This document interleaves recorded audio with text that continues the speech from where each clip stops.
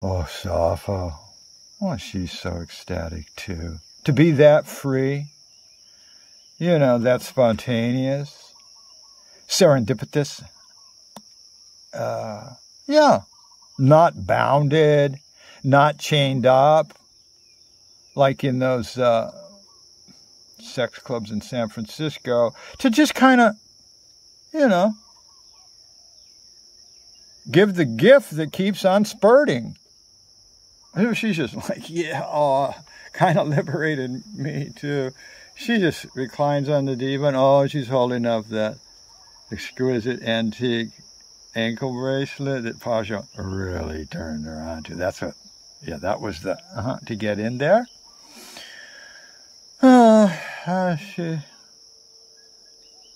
oh, where's a Sphinx? Uh, um, mm, well, she rises slowly. Uh, it takes a long time. She's so. And uh, yet, a, a tuft prints in the sand. Sounds so romantic, doesn't it? Uh, around the tuff, uh, turret. And oh, there's Sphinx, you know, leaning against the rolls. And so there's only Pasha left, alone. He hasn't been able to move still flat on his back in the tuff.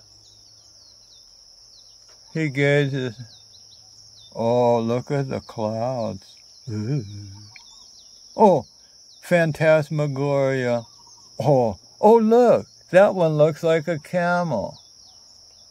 Oh. Um, yeah. So, uh, oh, I'm blown away, huh? Mm. Mm-hmm, mm-hmm. What happened? Selfless, transcendent, sexual gift, compassion from the lesbian. I mean, he's always wanted to get in on that since they met on the plane in Thessaloniki. You know nothing about that yet, do you? How they met? I mean, even like what Pasha's personality is like. You don't even know that he's Turkish up to now. You want to give you too much front loaded, huh? Got to save some of the juicy bits. You know, a little here, a little there. You know, garlic, you know, goes a long way in a salad. Well, oh. So, look, here's the kind of wake him. Look, man, uh, hmm. You're supposed to be on a road trip with a couple of friends? Oh, oh yeah. Okay. He gets up, pulls up his pants. Oh, it feels so good down there.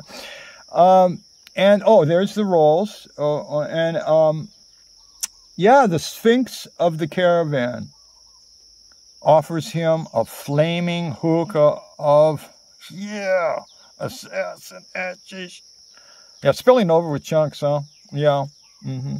And what Sphinx now attends Pasha as if he were the Sultan, and as if Sphinx himself were the the the Sultan's butler.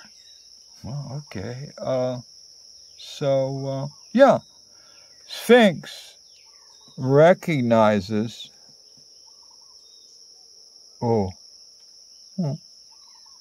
Pasha's true essence.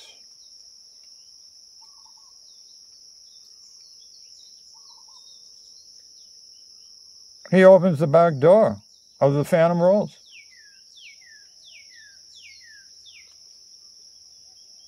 For Pasha, whispering, May I serve you, my lord?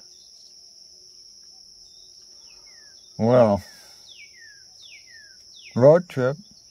Everybody's so mellowed up by now, huh? Stopped at the power spot of Sphinx, yeah, bequeathed to him by his guru, Omar the Dustmaster, when he was 12 years old. Initiated them, them, them there. He stopped there on the way to the Kaymakli Catacomb. Oh, that was a good idea. Yeah. Well, here he got pulls up to the most fun place. He could stay in Cappadocia back in the day, huh? back in the 60s. Hippie Palms Pension. Hostel. a, a compassionate hostel.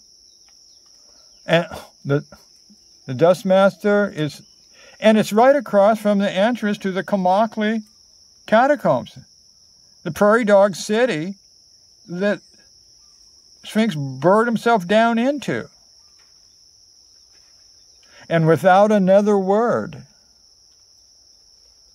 well, he did. He did wash up first, um, and he changed into a silk uh, Lawrence of Arabian outfit. You know, silk Bedouin robe, Aladdin slippers, fancy silk turban. I mean, he's and where'd he go? Oh, oh, oh, he, he, he disappears into the blackness of the catacomb. I mean, it's pitch black night here now.